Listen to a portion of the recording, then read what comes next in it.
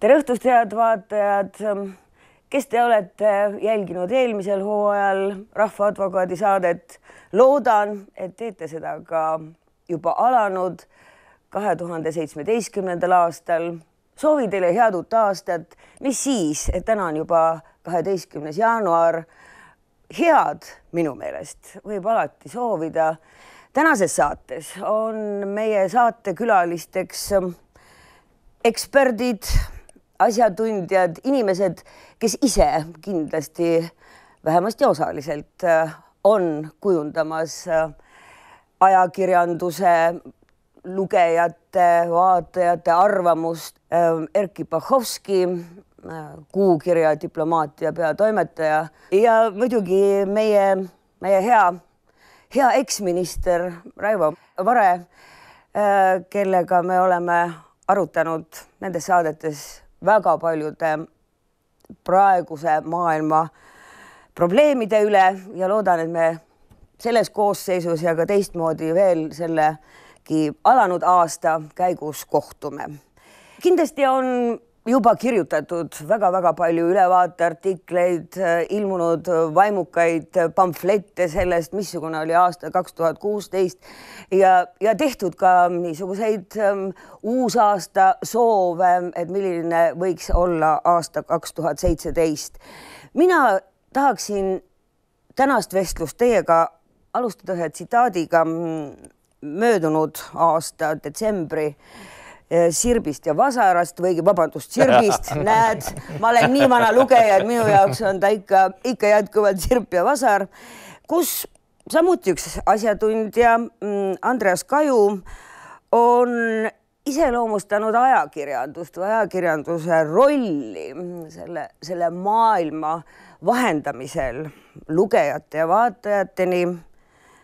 Üsnagi, ma ütleksin, karmisõnaliselt. ta kirjutab üksjagu on nii-öelda süüdi ka massimeedia selle kõikides vormides. see on lääts, mille vahendusel enamik inimesi poliitikat ju tarbib. pilt, mille massimeedia poliitikast on loonud, on niivõrd perversne ja tegelikkusest kaugenenud, motiveerib oskuslikke poliitikuid muutuma selle pinnapealse värdpildi sarnaseks selleks, et ellu jääda ja võim säilitada, tuleb eetris domineerida. noh, ma arvan, et seal on omajagu tõtt, et tõepoolest eelmise aasta Ameerika presidendivalimised näitasid, et, et tõepoolest Donald Trump domineeris meediat. arvutused on näidanud, et Trump ei pidanud maksma sugugi nii palju reklaami eest kui Hillary Clinton, sest meedia korjas iga tema sõna üles ja ja, ja, ja seetõttu oli tal eelis ja noh, kindlasti see, mis juhtus Trumpiga, see on kindlasti eeskujuks paljudele teistele poliitikutele, et nii saabki teha ja, ja arvatavasti nüüd sel aastal, kaks tuhat seitseteist me näeme ka seda, et, et võidab see poliitik, kes täidab äh, seda eetri ja, ja leheruumi kõige-kõige rohkem. teisest küljest on muidugi see, et, et äh, viga on alati üldistada et, et kindlasti olnud kogu meedia selline, selleks, et teha ikkagi mingisugune põhjapanev järeldus, noh, tuleks ikkagi teha selline karm analüüs, tuleks teha meedia monitooring, võtta mingi kindel ajavahemik võtta mingisugused kindlad äh, meediaväljaanded, äh, lugeda kokku, palju siis äh, keegi midagi ütles nii kvalitatiivselt kui ka kvantitatiivselt ja alles siis saab teha järeldusi. et, et Andres Kaju üldistab ja väga palju siis sotsiaalmeedia põhjal ja, ja online meedia põhjal, aga samal ajal ikkagi oli ka tõsiseid väljaandeid, kes, kes poliitikuid nii-öelda liistule tõmbasid, aga noh, probleem ongi selles, et see, mis töötas võib-olla kümme-viisteist aastat tagasi, ei tööta enam praegu, et et äh, Trumpi nii-öelda riietusruumis jutuajamine naiste kohta kümme-viisteist aastat tagasi oleks see tähendanud tema kandideerimise lõppu, aga praegu mitte, aga, aga alles on, alles on need meediaväljaanded, võtavad asja tõsiselt, aga sinna juurde on tulnud siis see sotsiaalmeedia ruum ja üldistus tehaksegi selle sotsiaalmeedia põhjal, et, et see ongi see probleem. Ma arvan, et võib-olla ongi õige sellest rääkida natukene pikemalt, sellepärast et, et sotsiaalmeedia on muutunud omaette nähtuseks meediumiks, mis hakkab dikteerima ka nii-öelda peavoolumeediale mängureegleid ja see on täpselt see koht. muuseas, vahemärkusena olgu öeldud, et ikkagi on välja tulnud, et see riietusruumi jutt, eks ole, see tõi kaasa selle, et isegi tema väimes, kes Jared Kushner, kes on väga tõsiusklik juut ja peab sabatit ja see on püha, oli sunnitud sellel laupäeva hommikul tulema Trump Towerisse nõupidamisele, mida nüüd teha selle, selle asjaga. kardeti ikka päris tõsiselt, et see jutt mõjub, aga ei mõjunud, sest seda suudeti kviteerida sotsiaalmeedia kaudu põhiliselt ja väga hästi, nagu me teame, ja see enam ei müünud. ja teine teema on see, et, et äh, nii-öelda meedia klassikaline mudel on ikkagi seotud ühel või teisel viisil faktipõhisusega. Äh, vähemalt pretendeerib äh, tõele ühel või teisel viisil, isegi kui ta on seisukohapõhine, aga ta on ikkagi mingi tõde eks ole. nüüd äh, see, mis toimus näiteks Ühendriikide valimiste ajal, see oli ju, mida nüüd on hakatud tituleerima äh, tõejärgseks poliitikaks, ehk siis tegelikult tõel ei olnud enam tähendust. Ja see on tegelikult kõige hirmutavam, sellepärast et noh, ütleme niimoodi, et ega heas mõttes äh, professionaalne demokraatlik poliitsüsteem kui ta ületab selle barjääri, tõebarjääri ja enam ei ole tõel mingit tähendust mm, -hmm siis see on olemuslikult vastuolus eh, selle demokraatia enda põhimõttega ja ta muutub iseenda vastandiks. ehk siis eh, me teame, et autokraatlikes süsteemides tõel on suhteline väärtus, kui üldse. Ja tõde on see, mida mm, pealik ütleb, mida riiklik propaganda määrab ja nii edasi, seal ei ole seal tähendust. aga demokraatias on alati olnud tähendus, kogu see tasakaalude mehhanism osaliselt põhineb tõe olemasolul või vähemalt mingi tõe väljaselgitamise vajadusel ja faktidel. Ja see enam ei toimi no ma ei julgeks nüüd öelda, et me oleme mingisuguse piiri ületanud, et kindlasti on kohti, kus see piir on ületatud, aga meil veel kuidagi see ka see vana nii-öelda see tõepoliitika või mm -hmm. siis nii-öelda see faktidepõhine poliitika veel töötab, et kui me võtame Martin Repinski juhtumi eelmise aasta lõpus, siis, siis tegelikult see klassikaline mudel ju töötas, et Repinski pidi valetamise või vassimise pärast tagasi astuma. meedia oli nii-öelda selles äh, väga suurt, mängis väga suurt rolli ja, ja, ja niimoodi see juhtus, aga, aga küsimus ongi selles, et kuidas siis meedia nüüd suudab seda oma uut rolli mõtestada, kuidas ta suudab sotsiaalmeedia äh, rolli või sotsiaalmeedia osa siis endasse integreerida, et, et äh, et nii-öelda ajaga kaasas käia ja mitte siis seda tõde käest lasta, et ma arvan, et me, meil on praegu siin mitu võimalust ja, ja, ja nii-öelda seda nii-öelda mitu, me oleme nagu teeristil, et võime minna siis sinna tõesti sinna tõejärgsesse poliitikasse, nii nagu see juhtus Ameerika Ühendriikides, aga võib äh, juhtuda nii, et, et kui meedia suudab kohaneda, et siis äh, jääb see tõde alles. aga muidugi põhimõtteliselt on tegemist jah, nii-öelda demokraatia labastamisega, sest noh, demokraatia põhiolemus on ju see, et kaasaegses demokraatias, et kodanikud langetavad otsuse siis nendeni toodud faktide põhjal. Ja, ja, ja, ja, ja, ja siis valitakse siis see, kes äh, siis on suutnud kodanikele kõige paremini neid asju selgitada, aga seni on see siis toimunud tõesti faktipõhiselt, aga, aga nüüd me oleme siis jõudnud sinna järku või oleme jõudmas, äh, kus siis sellel ei ole mingit tähtsust ja, ja see valik siis langetatakse tõesti äh, olematute faktide, libafaktide või libauudiste põhjal. andmete põhjal, nagu ka mõned Inglise äh, asjatundjad väidavad, et me oleme faktipõhisuselt minemas andmete põhisusele ehk data. lõppkokkuvõttes me oleme ka eesti keeles tuttavad selle väljendiga mul on andmeid, mul on andmeid, et ta on selle ja selle asjaga seotud. see tegelikult ei tähenda veel seda, et mul on tõsikindlaid fakte, aga mul on andmeid. ei, sellele lisandub veel üks teine Ole element hea. ka, kui kui te olete tähele pannud, siis väga tihti, eriti online intervjuudes või online esinemistes, kus ei ole aega sõnu sättida piisavalt Just. ja kus tegelikult ei ole võimalik äh, erinevatel põhjustel ka väga palju pühendada tähelepanu faktidele. küll aga on mingeid andmeid mis on siis vastavalt juba inimese ütleja peas kuskil mingiks töötluseks juba allutatud olnud, siis järgneb veel teine väide. mul on andmeid ja on üks väide, teine mm -hmm. väide on ma usun. Ma usun. ma usun.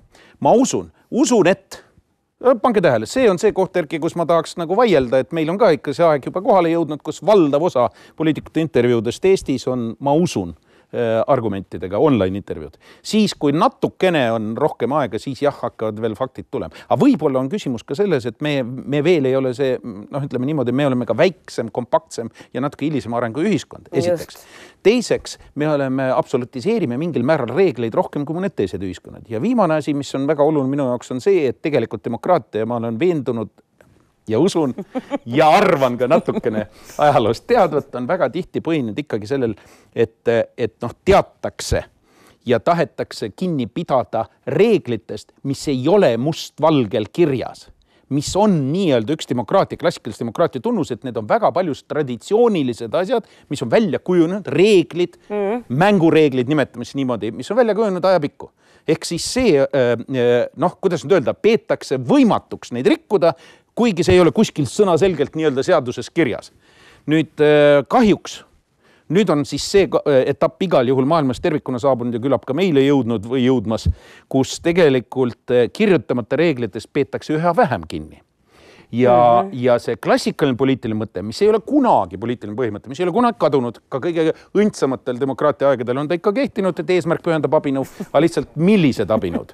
nüüd, nüüd see piirang tuleb pealt maha, et on piiranguid ja reegleid, millest peetakse kinni nende abinõude rakendamisel eesmärgi nimel ja see on kõige ohtlikum, sellepärast et see on põrgutee igal juhul, põhimõtteliselt põrgutee. kui viia nii-öelda absoluuti, kui kasvõi loogiliselt arutleda mm, -hmm. siis me mhm. jõuame varem või hiljem selleni, et see viib autokraatiani. variante ei ole ja see on kõige ohtlikum. ehk siis nüüd on siis küsimus hakkab ikkagi tekkima, et, et äh, Lääne-Euroopa, nimetame asju õige nimega, Lääne-Euroopa demokraatia mudel, see, mis täna on olnud liberaalse demokraatia sildi all valitsev ja mida, millest on kõige rohkem kinni peetud ja, ja kõige rohkem teda austatud ja me oleme ise sinna, eh, eks ole, püüelnud kõikide vahenditega ja oleme selle osaks saanud mm., siis Lääne-Euroopa demokraatlik mudel hakkab selles ja ta on põhinenud väga paljus kirjutamata reeglitel. traditsioonidel. traditsioonidel, välja töötatud käitumismallidel.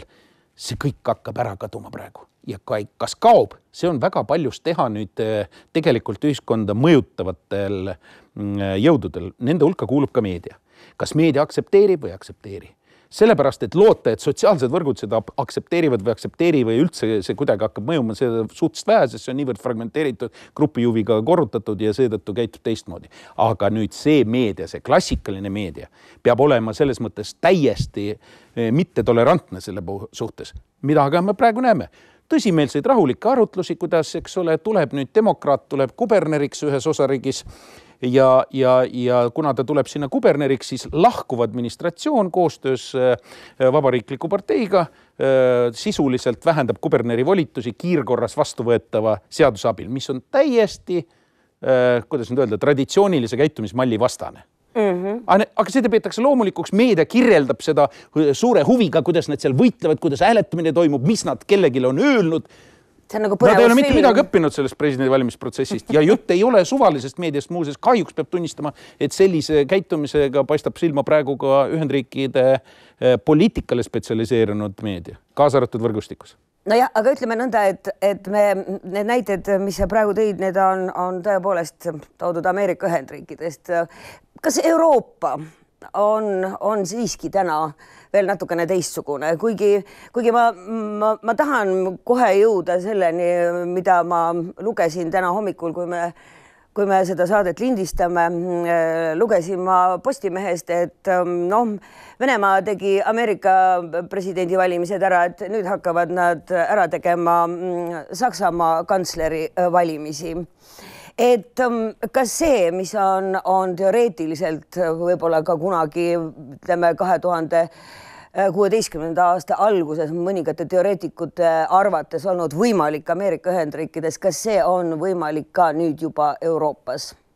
no ma arvan, et kõik on võimalik, et äh, kaks tuhat kuusteist ju näitas selgelt, et äh, teoks said paljud asjad, mida paljud pidasid äh, võimatuteks teoks sai Brexit, teoks sai see, et Donald Trump võitis USA presidendivalimised ja noh, ma arvan, et midagi samasugust võib oodata ka sellelt aastalt. Saksamaa Bundestagi valimised tulevad sügisel ja tõepoolest mina, ma olen rääkinud mitmete sakslastega ja nad peavad vägagi tõenäoliseks, et Venemaa üritab mõjutada neid valimisi. noh, siin on ka tõepoolest selline väike lootuskiir või, või selline positiivne positiivne ootus siis sellest aastast, et tõepoolest, et kantsleriks saab taas Angela Merkel, kes on seni siis suutnud kuidagi seda olukorda Euroopas kontrolli all hoida, mõned küll ütlevad, et rändekriisis käitus ta valesti, lubades siis äh, Saksamaale liiga palju põgenikke, aga sellegipoolest äh, ma mõtlen alternatiividele, et kui Merkelit ei oleks, et mis siis praegu üldse Euroopa Liidus saaks, et et see, see, see asi on, asi on natuke, äh, oleks nutusem. aga meedia loomulikult on Euroopa meedia mingis mõttes äh, teistsugusem kui Ameerika meedia.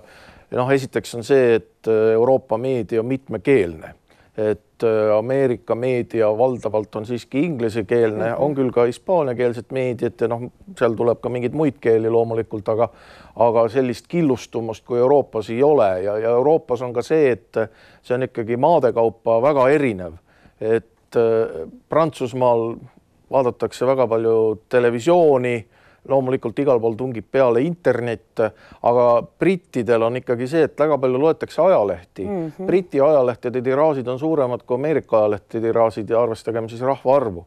samamoodi loetakse ajalehti Soomes jätkuvalt, et Helsingin Sanomat, aga ka Soome kohalikud lehed on ikkagi väga-väga tähtsa rolliga Soomes, et et selles mõttes nagu sellist üldistust Euroopa meedia kohta on, on keerulisem teha ja, ka Euroopa riikide poliitika on erinev, et, et Saksamaa poliitika, Saksamaa valimised, see valimissüsteem on hoopis erinev Briti valimissüsteemist ja nii edasi ja nii edasi, et et üldistada Euroopa meedia kohta on minu meelest keerulisem ja noh, ma arvan, et eks me seda ka nüüd näeme, kui sel aastal tulevad tähtsad valimised, Saksamaad juba mainisin, aga tulevad ka Hollandis ja tulevad eriti Prantsusmaal presidendivalimised, et, et kuidas siis meedia käitub, eks see sõltub ikka sellest vastavast riigist aga ja. siin ongi hea näide ka lõppenud aastast on äh, Austria presidendivalimised pärast ja. Äh, kolmandal katsel ikkagi valiti president ära Eesti juurtega pealekauba, aga seal oli üks trikk seoses meediaga. nimelt äh, asus äh, alternatiivkandidaati ehk siis äh, räigelt parempoolset kandidaati toetama Nigel Farage ja seda peetakse üheks argumendiks, miks selles lõppvalimisvoorus ikkagi vastaskandidaat, kes on pro-Euroopa, äh, sai oluliselt äh, rohkem hääli, kui isegi arvati, sellepärast et see muutus argumendiks selle toetatud kandidaadi vastu. miks? sellepärast, et Austria meedia seda kajastas ja Austria meedias kajastati seda, kogu see Brexit omandas austerlaste jaoks natuke teise kõla kui ka brittide endi jaoks mm. ja see kajastus koos selle suhtumisega tekitas olukorra, kus Austria meedia abil tegelikult äh, nii-öelda negatiivseks argumendiks muutus Brexiteeri, ühe esi-Brexiteeri toetus ühele kandidaatidest, nii et, nii et see toetab äh, seda argumenti, et see on hästi hästi diversifitseeritud, hästi, hästi mitmekesine on Euroopa palett, oluliselt kesi, mitmekesisem kui Ameerika oma ja no Euroopa meediast veel rääkides on muidugi see, et jah, et see mitmekesisus on ju ka välistanud sellise üle-euroopalise meedia tekke mm -hmm. ja, ja see ongi probleem, kui me räägime siin Euroopa Liidust, äh, eriti Euroopa Liidu poliitikas, et kuidas tekitada siis üle-euroopalisi valimisi. noh, kui me võtame Eesti valimised, eks ole, siis on see meediaruum täis eks, ühesuguseid teemasid ja enamasti loetakse seda ka ühes keeles. no meil on ka venekeelne meedia, aga teemad on ikka põhimõtteliselt samad, küll väikse erinevusega. aga, aga midagi sellist ei ole siis, siis kui on, ütleme, tulevad Euroopa Parlamendi valimised, tulevad Euroopa Komisjoni presidendivalimised siis äh, need teemad kukuvad nagu liikmesriikide vahel ära mm -hmm. ja, ja, ja noh, väga raske on tekitada sellist ühtset meediaruumi, et meie siin ei aruta näiteks Vahemere teema üle ja nemad seal siis ei aruta mm -hmm. noh, siinse piirkonna üle ja, ja nii edasi ja nii edasi ja, ja, ja seetõttu on ka väga raske rääkida sellest demokraatiast Euroopa Liidus, et, et noh, demokraatia noh mm -hmm., klassikaline on ju see teade noh, või see, see uudis, et et demokraatia teemos ja kratos. Rahvas ja võim, aga seda Euroopa teemast ei ole lihtsalt võimalik tekitada, sellepärast et, et meedia on väga mitmekesine ja noh, ma ei näegi siin nagu mingit suurt, suurt lahendust sellele probleemile, et kui me tahame Euroopa Liidus ka tekitada mingisugust demokraatlikku protsessi, siis äh, seda ei saa kindlasti teha nii, nagu see on siis liikmesriikides või üldse rahvusriikides. aga samas ei tasu tähelepanu jätta ka seda, et öeldakse, et Brexiti üks põhjuseid või süüsid oli ka see, et Murdochi impeerium töötas, eks ole, Brexiti mm -hmm. nimel ja see ja. tähendas kogu tema ja. ülivõimsa äh, meediaaparaatuse tööd juba kümme, kaksteist aastat junti selle nimel tegelikult, mitte sugugi ei toimunud see vahetult enne. sisuliselt isegi Cameroni nii-öelda poolsundkäik mida noh, ta tegi küll sisepoliitilistel ettevaatamatutel kaalutlustel minu arvates, aga, aga oli ka sellepärast, et üks osa sellest mängust oli see sund, mis oli peale pandud konservaatoritele just nimelt selle, selle meedia kaudu, mida Medek juhtis ja, ja, ja omab. nüüd me olime, oleme juba tükk aega arutanud meedia üle, mis äh, on loomulikult väga tähtis komponent, kui me räägime demokraatlikust ähm, ühiskonnast, demokraatlikust Euroopast ja, ja maailmast, aga, aga vaadates nüüd selja taha jäänud aastatele ja, ja mõeldes kahe tuhande seitsmeteistkümnendale aastale ja sealt edasi, siis ähm, mismoodi te kujutate ette, et hakkavad nüüd muutuma riikide rollid? kõik poliitilised jõud, kõik poliitilised mm -hmm. jõud, keda me peame silmas kui destruktiivseid mõneti, olgem ausad mm. -hmm kõikidel nendel äh, juba kirjeldatud valimistel. Nende agenda üks nurgakive on tegelikult nii-öelda oma äh, noh, oma riikluse ähm, kaudu argumenteerimine, selle nii-öelda nagu kuidas öelda, autonomiseerimise või, või isolatsionalismi isegi mõneti kaudu argumenteerimine mm, -hmm. ehk mhm. nad hakkavad mingil määral valimiste agendat määrama paratamatult, isegi siis, kui nad ei võida mm -hmm. ja isegi siis, kui võidavad teised, nii-öelda piltlikult öeldes võidab ikkagi, eks ole, äh, mõistus ja demokraatia, aga agenda juba nihkub ja see tähendab mhm. tegelikult, et mina väidan, et tegelikult maailmas tervikuna on saabunud periood, kus see kiirenenud integratsiooniprotsesside etapp on asendumas kui mitte aeglustusega, siis noh, pigem aeglustusega ja sellise isolatsionismi mõningase tõusuga. noh, näide muidugi jällegi, me ei saa Ameerika Ühendriikidest mööda, eks ole mm,. üks, üks äh, Trumpi nii-öelda nurgakive, millega ta ju mõjutas isegi valimiskampaaniat, kus Clinton ka läks sellega kaasa, oli ju näiteks äh, rahvusvaheliste kaubanduslepete vastane positsioon mm. -hmm. me ei taju lihtinimestena siin kaugemas nurgas, kuivõrd olulised on need tegelikult need kaubanduslepetega loodavad keskkonnad. me ükskord varasemas saates sellest rääkisime pisut ja, ja põgusalt. sisuliselt TTIP-i ja TTP ehk siis Trans-Pacificu ja Transatlantiku. ehk Atlant- Atla, äh, ja, ja, ja, ja Vaikse ookeani ülesed lepingud. Äh, lepingute äh, äh, nii-öelda noh, äh, kadumine või vähemalt äh, riiulisse panemine tähendab ju tegelikult seda, et kogu läänemaailm jätab endale võimaluse mhm. suurel globaalsel skaalal, kus ta nagunii on konkurentsivõitluses kaotamas mõneti produktiivsuse teemad ja nii edasi, me oleme sellest rääkinud, siis, siis ta kaotab võimaluse sättida kui suurim turg ja suurim mõjur oma standardeid ja see on otsustava tähendusega, standardid on tegelikult majanduslikus arengus mm -hmm. väga suur mängureegel.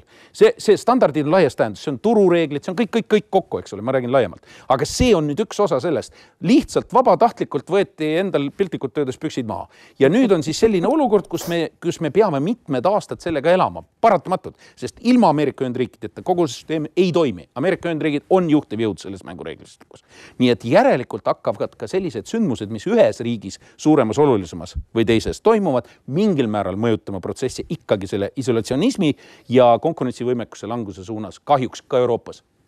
Ja no ma arvan sama põhimõtteliselt, et mm, -hmm. et äh, kaks tuhat seitseteist ja sealt edasi me näeme järjest rohkem sellist äh, riikide vastuseisu globaliseerumisele ja, ja muret selle üle siis, mida siis globaliseerumine inimestega teeb. Ja noh, siin on probleemid muidugi olemas, et, et äh, globaliseerumine on midagi, eh, millel ei ole mingit keskorganit, eh, mis eh, inimestel ei ole kuskile pöörduda, nagu me räägime rahvusriigist mm -hmm. siin, eks ole, siis inimesed saavad alati parlamenti ümber valida, küsida, kas või petitsioone kirjutada, küsida, avaldada meelt Toompeal või siis ma ei tea, Valge Maja ees või, või, või, või siis Westminsteri juures ja nii edasi.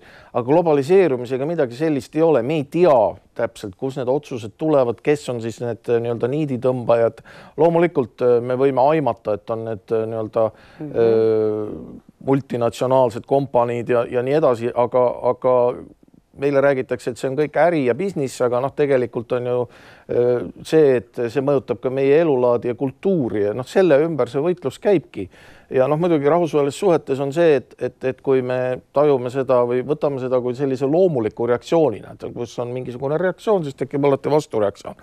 aga minu meelest on probleem selles, et, et, et kui suureneb siis selli-, suurenevad sellised isolatsionistlikud meeleolud, siis äh, suureneb alati ka sõjaoht või konfliktide oht, et, et äh, praegu, praegu me näeme seda, kus siis lääne julgeolekukogukond on löögi all, et äh, see just nimelt need kirjutamata reeglid, mis olid ka nii-öelda pärast sõda sa, sai maha pandud, siis äh, need on hakanud murenema.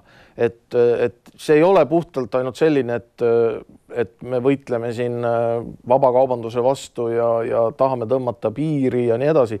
sellega kaasneb ka alati see oht, et, et väheneb siis rahvusliigi julgeolek ja on selge, et kui tõusevad, tõusvad siis sellised impeeriumid nagu, nagu Venemaa ja Hiina, Hiina siis, äh, siis rahvusriik üksi kindlasti ei suuda oma julgeoleku eest hoolitseda, et, et seda saab siis teha ainult koostöös teiste rahvusriikidega.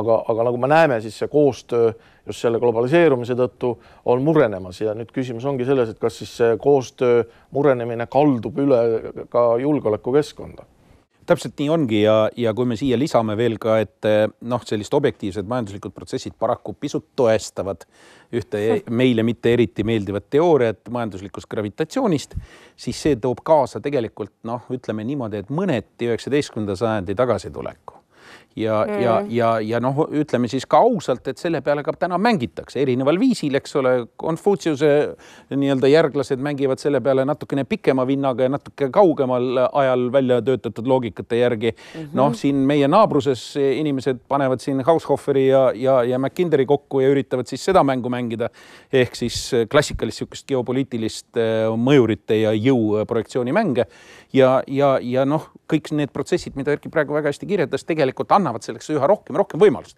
ja see tekitab olukorra, kus, kus noh, tagasi kerida on ülikeeruline, kuni ei teki väga suurt konflikti, mis selle siis noh, viib uuesti mingisse uude tasakaaluseisundisse. ma pean tunnistama, et, et mul jäi, mm, jäi väga mm, teravalt kõrva mm, jällegi professor Müllersoni saatest üks tema väide, et rahvusvaheline õigus, asi, millest me oleme ka siin mõnes saates rääkinud ja, ja mille külge ju paljud ikkagi ju on klammerdumas, et noh, seal on midagi, mis peaks kuidagi korrastama riikide omavahelisi suhteid ja, ja tagama meile selle, selle rahuliku arengu, millest me ilmselt juba ka noh, unenägusid näeme, et see, et see jätkuvalt ikkagi toimiks.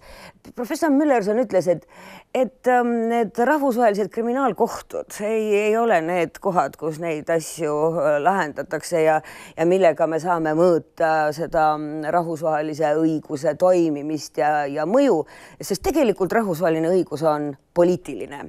kas äh, te olete sellega nõus ja kas see sõnum, et rahvusvaheline õigus on ennekõike poliitiline õigus, ähm, on Eesti rahvale ja meie vaatajatele nagu rõõmustav uudis või peab see meid nüüd veel rohkem ärevaks tegema? no alustame sellest, et kõik kontserdid ja, ja kõik nii-öelda rahvusvahelise sõjaõiguse ja, ja ka inimõiguste baasiliste kokkulepete nii-öelda ajalugu näitab, et tegelikult on see äh, väga suuresti mingisugusel ajalooetapil kokku lepitud, poliitiliselt kokku lepitud mängureeglistik. kuidas vormistatakse, on teisane. jätan praegu selle aga kontroll? aga kontrolli reeglina äh, ikkagi selle pea, selle suhtes äh, teostavad siis kas kokku lepitud vormis rahvusvahelised organisatsioonid või siis ad hoc koostatavad äh, nii-öelda äh, meeskonnad, kuid fakt on ka see, et igal juhul on sellisel juhul suurriikide osalus vajalik. Ja nüüd me tuleme tagasi kriminaalkohtu juurde. kriminaalkohtu Just. puhul teadupärast protsess algas oluliselt varem. Ehk siis äh, sugugi mitte nüüd viimaste aastate jooksul, eks ole, ja, ja sugugi ei ole niimoodi, et nüüd noh, võtame kaks suurriiki, kes täna nii-öelda meie jaoks kõige olulisemad, Ühendriigid loobusid kriminaalkohtu jurisdiktsioonist oma suurriiklikel kaalutlustel ja Venemaa ei ole ratifitseerinud ja nüüd on teatanud, et ka loobub. lükkasid kõrvale. ehk siis mm -hmm. suurriigid jällegi tegelikult käitusid selles mõttes klassikalisel viisil, nad seadsid äh, selle rahvusvahelise õiguse nii-öelda noh, mingil hetkel poliitilise kokkuleppe seadsid de jure ikkagi ja siis ka de facto tegelikult kahtluse alla, sest neile see mingitel kaalutlustel, jätan praegu kõrvale, ei ole tähtis, miks mm, -hmm. ei sobinud. suurriikide roll rahvusvahelises õiguses Tõuseb. on ülisuur ja nüüd probleem minu meelest tervikuna ongi praegu selline ja meie jaoks on oluline mõista seda, et läänemaailmas toimub praegu mingisugune muudatus.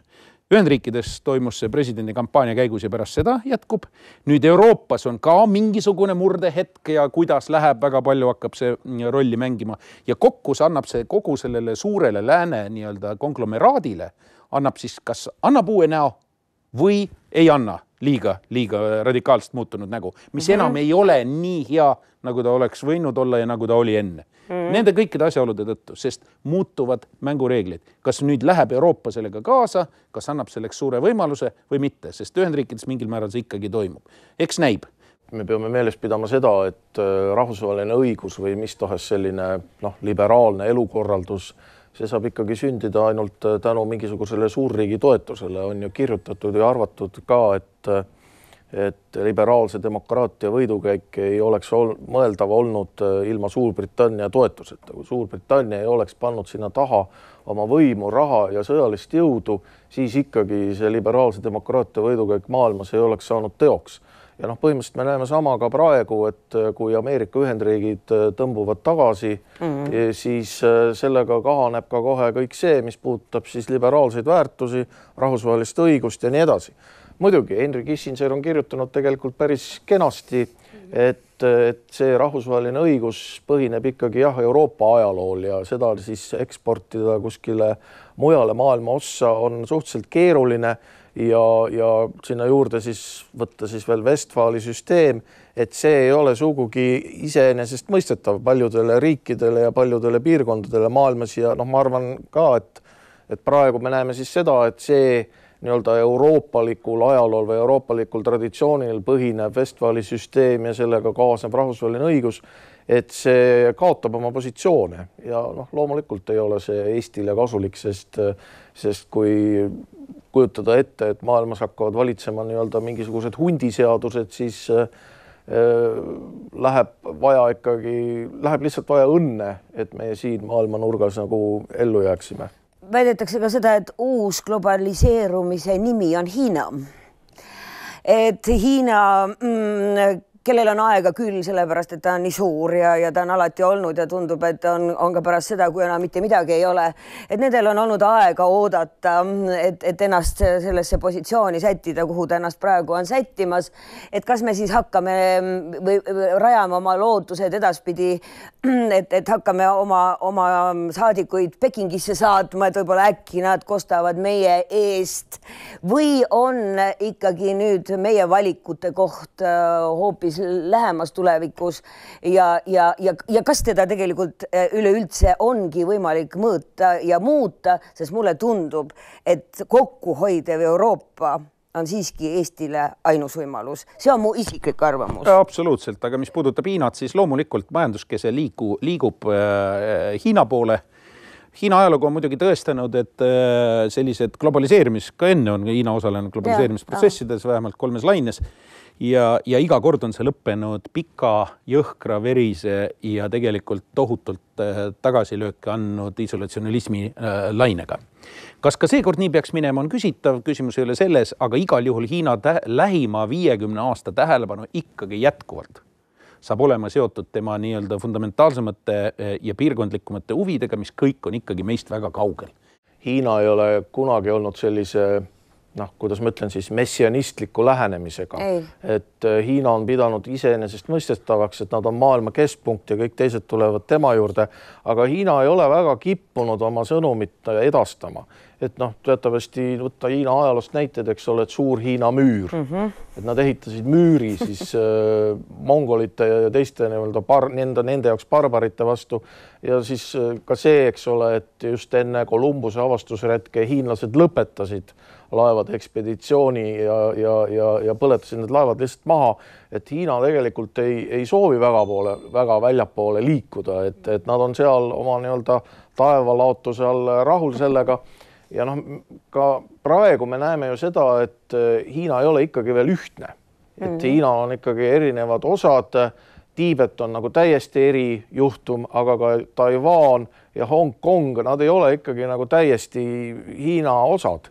Ja mm, -hmm. ja loomulikult äh, tuleb juurde liita see, et mis siis hakkab juhtuma Trumpi poliitika ajal, et äh, märgid nagu Hiinale ei ole head, et äh, Trump... Hiina vastasus oli üks nurgakive tal. just, just jah, et ja nii-öelda see ühe Hiina poliitika on muutumas, et see paneb kõik nii-öelda selle Hiina positsiooni nagu uude valgusse ja, ja saab siis näha, kuidas hiinlased reageerivad no näha on, et näiteks meie idanaaber on selgelt praegu mängimas ka seda mängu, et üritatakse Hiinat positsioneerida oma liitlasena Ühendriikide vastu teisel teatril küll põhiliselt, eks ole, aga ka natukenegi Aasias ja, ja Lähis-Idas. täpselt sama lugu on, eks ole, Hiinaga, ega Hiina ka mingil määral sellega just nimelt arvestab ja ta kasutab seda ära targalt omal viisil. aga kui me nüüd tuleme mm, tagasi Eestisse, sest noh, mulle tundub, et et te jagate vist seda seisukohta, et, et see, mis Eestis toimub ja toimuma hakkab, ikkagi nagu aasta-aastalt rohkem sõltub sellest, mis toimub Euroopas ja mis toimub ka Ameerikas ja noh, võib-olla viiekümne aasta pärast ka sellest, mis toimub Hiinas. kes, kes elab, see näeb ja, ja otsustab, kas, kas, kas arvasime õigesti või mitte. aga meil on vahetunud valitsus. Kui see saade eetrisse läheb, on, on uus valitsus juba saanud oma tegusid teha natuke ka kauem kui, kui see, mis on kujunenud sellest hetkest, kui ta valitsevaks ähm, äh, koalitsiooniks sai ja kui meie seda saadet lindistame, nii et selles mõttes niisugune huvitav ajanihe, aga ikkagi mind huvitab, kas see muudatus noh, ütleme juhtiva partei osas, mis nüüd meie valitsuskoalitsioonis Eestis on toimunud, kas see toimus õigel ajal, kas seda oli üldse vaja? Ja, ja millised võiksid olla noh, selle, selle plusspooled, lõpuks me ju ikkagi loodame, et, et, et ikkagi asjad lähevad nagu paremuse poole, aga mille suhtes te arvate, et tuleks olla ettevaatlik? no alustame sellest, et, et seesama maailmas toimuv protsess on projitseeritav ka meile, eks ole, ehk siis see mõningane nii-öelda arengu pidurdumine ja ja, ja, ja, ja võib-olla selline stagnatsiooni elementidega ja äh, liidrite osas halluse elementidega maailm on tekitanud, eks ole, laineid igale poole, kaasa arvatud meile ja, ja muudatuste vajadus iseenesest mingisugune on tunnetatav. ega selle peale ju põhimõtteliselt mängitakse. seda on loodetud ühiskonnast. ja, ja, ja igalühel omad arusaamad, aga põhimõtteliselt kõikides ühiskondades toimub sarnane nii-öelda muudatuste ootus ja, ja vajadus ja nii edasi.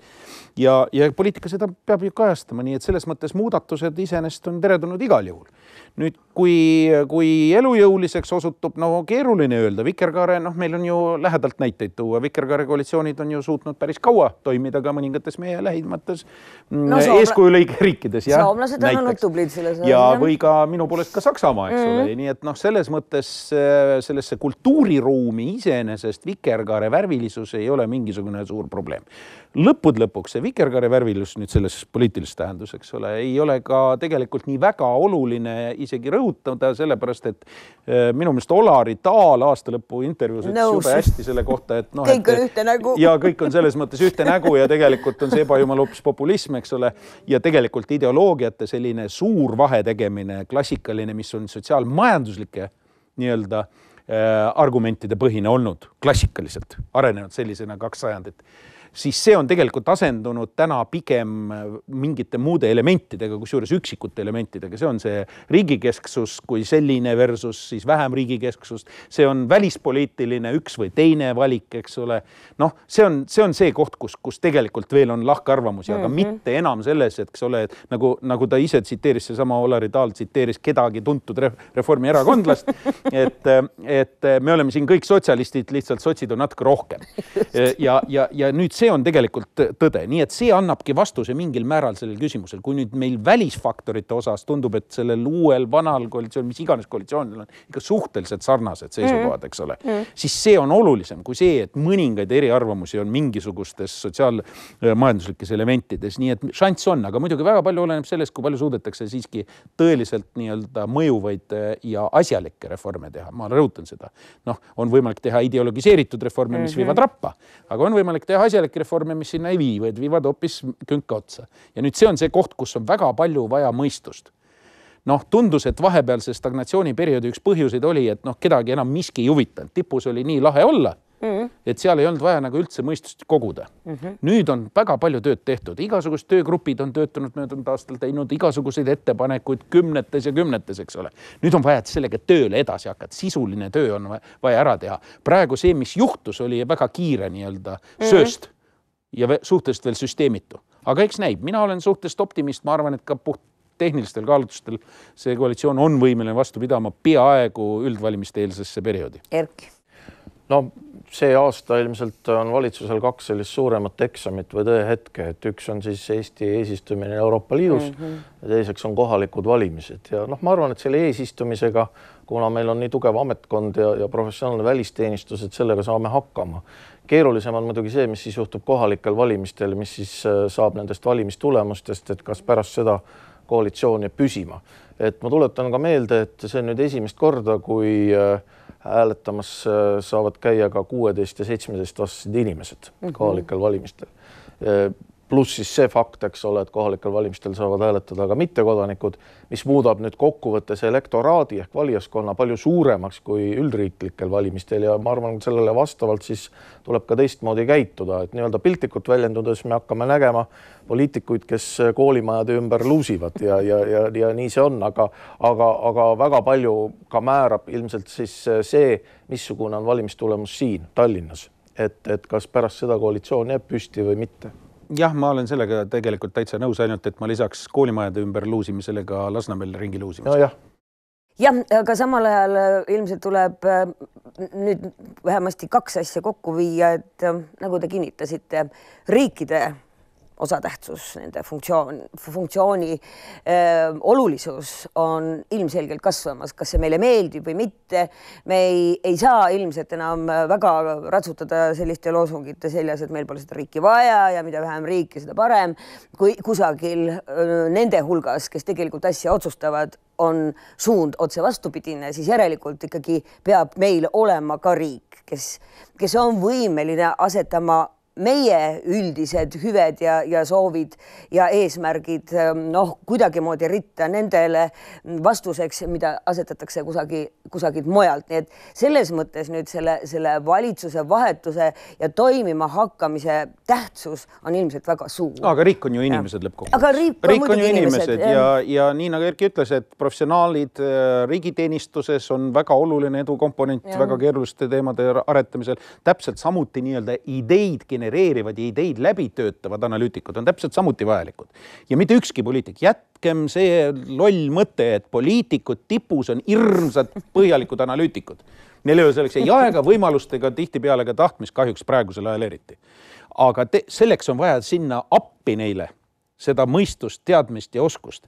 ja poliitiku suurus tegelikult tavaliselt, kui väga hoolikalt kraapida pealispinda, siis ajaloos on ikka olnud selline, et nende selja tagant on paistnud terve meeskond väga tugevaid professionaale mis iganes kvaliteedis, mis iganes mm -hmm. nii-öelda päritolu mm, -hmm. küsimus mm -hmm. ei ole selles. kehtib muuseas ka absoluutse monarhia puhul, mis on kõige efektiivsem mõnda aega valitsemisvorm. nii et see on see meie väljakutse, kas nüüd need inimesed, kes täna tulid, erinevalt eelmistest, kellel vahepeal oli sügavalt ükskõik, kas nad suudavad selles liinis toimida või mitte, see on tegelikult see meie kui terviku jaoks oluline edufaktor.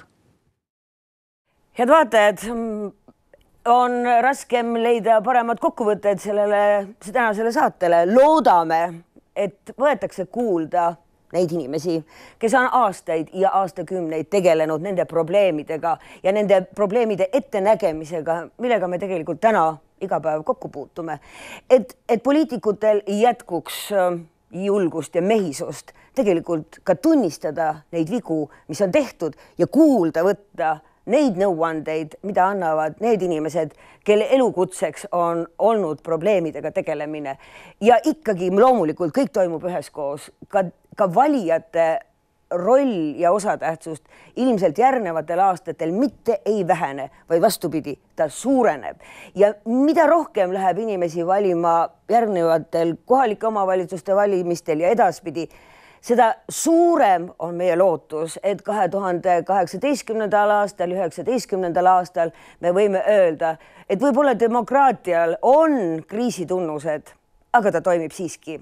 nii et soovime teile edukat uut ja demokraatlikku kahe tuhande seitsmeteistkümnendat aastat. veel ükskord selle saate lõpetuseks, aitäh teile